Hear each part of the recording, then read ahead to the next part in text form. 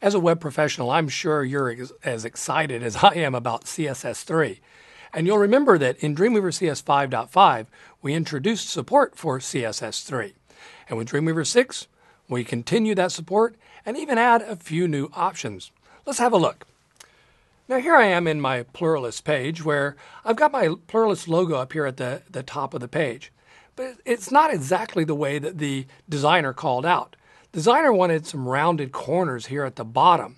But of course, to do that, uh, in the past, I would have had to use an image.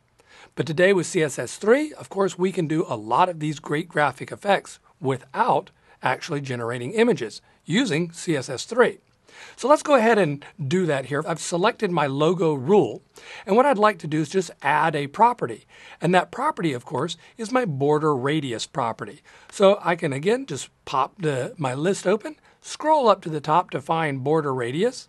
Of course, if I know how to type it, I could type it just as quickly. In fact, I do know how to type it. So let's go ahead and do that because it is a long list of great new properties that we have with uh, CSS3. But I'm simply going to say border radius, and as I tab, you'll remember in Dreamweaver CS 5.5, we introduced this little icon here to help us create the syntax for these CSS3 properties.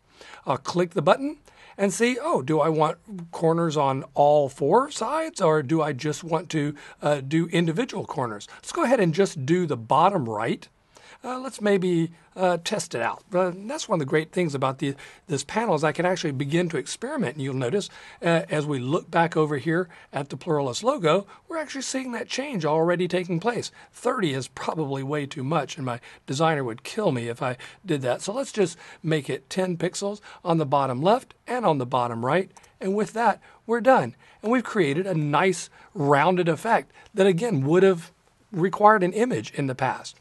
But sometimes it gets even more complex. And then uh, there's, a, there's a lot more that you have to be thinking about. Well, that is, unless you know a secret. And I'm going to let you in on the secret right now. I've got a badge down here, this plural to go badge. And you'll notice that behind the scenes, it sort of looks like there's a rounding happening over here, uh, just on that one corner. I want to get that rounding, and I also need the background, which happens to be a gradient. Now, I don't know about you, but if you've tried the gradient syntax, you know that it's oh, it's crazy, uh, and, and, it seems like it changes uh, every time I, I, I, get it memorized. And so, instead of even trying to remember the syntax anymore, I use the trick. Let's uh, let's go over into Fireworks CS6. In Fireworks CS6, I'll just zoom out so you can see this is in fact the, the layout that the designer provided me. We'll zoom back in here on that plural to go area. Now I want to take this entire box, that entire shape, and again rebuild that as CSS instead of using an image. In the past, again, that would have been a complicated process. But with Fireworks CS6, I can simply select the object and then go up to my window menu and choose to open up my CSS properties.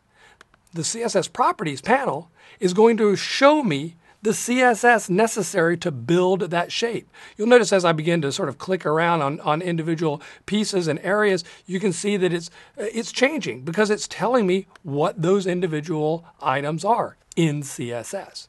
Now, I have the option of several possibilities here where I can take all of the things the width, the height, the border radius, the gradient, everything. And if, if that's what I'm after, I can simply click all to collect them all onto the clipboard. Now, the other possibility is to uncheck the properties or the uh, the browsers that I'm not interested in. If I, for example, was only going to WebKit mobile-based browsers, I wouldn't need all of those others. But of course, I'm going to go ahead and take them all and cover all my bases. But instead of taking the width and height, because I've already got that defined over in my CSS, I'm just going to select the border radius, hold down my Command or Control key there to do a multi-select and take the gradient. And then I'll just copy those selected properties. We'll head back over into Dreamweaver. And now I'm going to take my plural to go, and I want that entire uh, uh, emblem, if you will, the, that item here. So I'm just going to select that rule, and I'll go to code, which will give me my split view. And here you can see the code that I've already written. And now I'll just place my cursor into that spot and paste. Now, as we go back over and take a look at our emblem, we now have a beautiful rounded corner on the top on the bottom and that beautiful gradient that our designer was after without ever having to remember all of that complicated gradient syntax. One last thing that you might have noticed.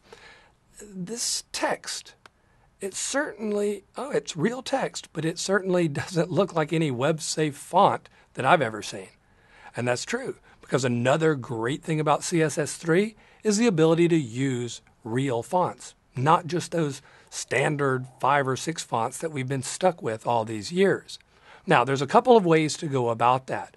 One, of course, is through the Typekit service, uh, and of course, I would encourage you to uh, to do that. Um, check out Typekit. There's a, a boatload of fonts there. But if you don't want to use that uh, the Typekit service and you want to have the fonts locally on your own server, then there's also that option as well. And we've added support for it right here in Dreamweaver CS6. You see, what I'm going to do is, first of all, in my site definition, I'm simply going to go to my advanced settings, where you'll notice the Web Fonts section. And that's going to simply point Dreamweaver at where I want to store my web fonts. Now I can begin adding fonts. So I'm going to go up to my Modify menu and choose my Web Fonts command. And then I'm going to say, I want to add a font. Now, the first thing I'm going to do is give the font a name. Uh, this is going to be Madrone is the, the font that I'm going to use. And then pick one of the formats that I'm interested in. So I'll just take my EOT and I've got my Madrone folder right here and I'm just simply going to select that. And you'll notice that as I do so, Dreamweaver has already seen the other fonts and has listed them for me. Now, the last thing is, and the most important thing actually about using fonts on the web is you have to have a license for them. And that means a license to use them on the web. And so Dreamweaver is going to make sure that we have that. And when I click my checkbox, the OK button is going to be enabled. And I can say, great, now I'm done. And now I can begin using Madrone as part of my font families. And the moment I do so, Dreamweaver is going to copy those files over into my own site definition for me. So as you can see, there's a lot of great things happening with CSS3. And of course, Dreamweaver CS6 is right there to support you.